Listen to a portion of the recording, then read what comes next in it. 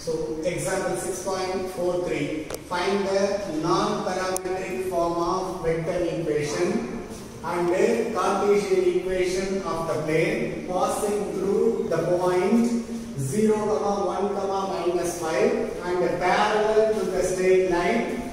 R vector is equal to i cap plus 2j cap minus 4k cap plus s into 2i cap plus 3j cap plus 6 cap and r vector equal to i cap minus 3j cap plus 5k cap plus t into i cap plus j cap plus k cap okay so you have to remember three types of equation in which the given informations. So as per the given problem, you have to make a note that you are given with one point. If you are given with one point means you should have two parallel vectors.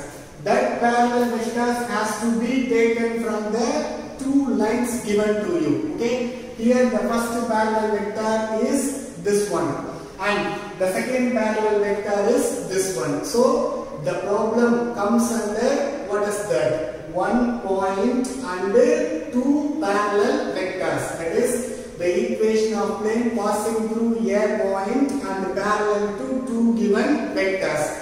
Here you are asked to find the non-parametric form of vector equation and the Cartesian equation. Okay, first I am going to write the non-parametric form. So non-parametric form of vector equation. So non-parametric form of vector equation. Okay, what is the equation? For that you are in need of the information that what are the informations we are in need of? Have write the position vector of the point.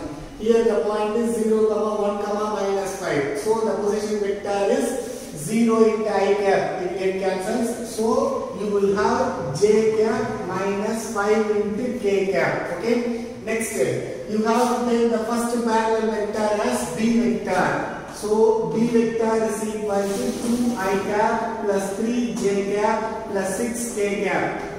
And next one the next parallel vector has to be taken as i cap plus j cap plus k cap. Okay. So we have identified the position vector of the point and the two parallel vector.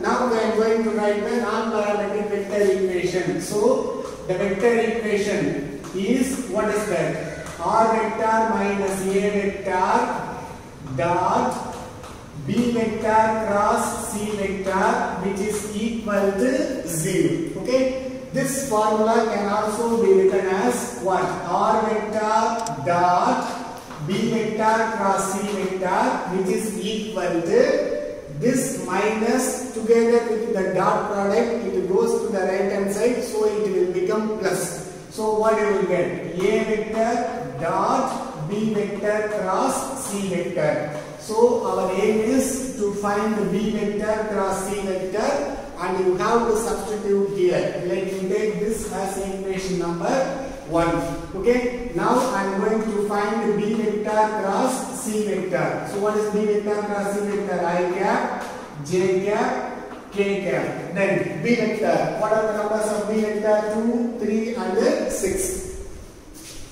So 2, 3, 6. Then C vector. What is C vector? 1, 1, 1. So 1, 1, 1. So you will have that alternating plus minus plus so I cap in there when you are multiplying this 3 minus 6. Okay. Then minus j cap in there by deleting the row and the column when you multiply 2 then you will multiply this as minus 6. Then plus k cap into you have to delete this row and the column when you are multiplying this you will get 2 and this one is minus 3. When you are simplifying this you will get that minus 3 i cap 2 minus 6 is minus 4. So you will have plus 4 j cap and 2 minus 3 is minus 1. So you are having minus k cap. So your b vector cross c vector is nothing but minus 3 i cap plus 4 j cap minus k cap. Then now have to substitute this in the given formula. Okay. After that we are going to solve this. Okay.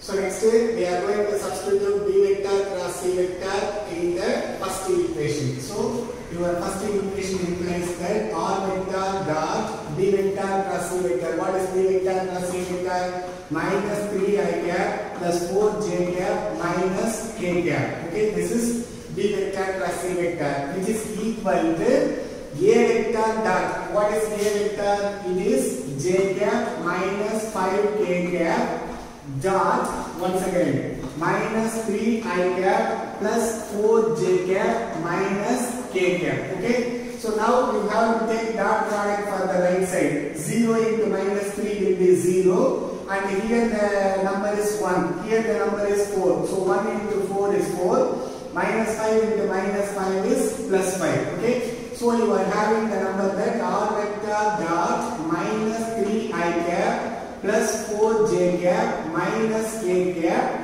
which is equal to 9. So you have to take this as equation number 2. This is nothing but your non-parametric form of vector equation. This is non-parametric form of vector equation. Next we are going to find the Cartesian equation. So your Cartesian equation, if you want to write the Cartesian equation means in the second equation you have to replace r vector as general arbitrary vector that is xi cap plus yj cap plus k cap. So replace replace r vector equal to xi cap plus yj cap plus zk cap in the second equation. Okay. So your second equation implies that what you will get? What is that? xi cap plus yj cap plus zk cap dot then you will have minus 3i cap plus 4j cap minus k cap which is equal to 9 okay so when you are taking dot product you will get that minus 3x plus 4y minus z which is equal to 9 when I multiplying by minus means you will get that what you will get 3x minus 4y plus z equal to minus 9. So this is the Cartesian equation of the plane passing through a given point and parallel to two given vectors. And one more thing, I have written the problem wrongly. That is in the book it is minus k, but I have written. No problem in it. You can take that as a creative problem. But the concept is same. Whenever the question is given to you, you have to identify the number of points and the number of parallel vectors. Accordingly, you have to write the formula.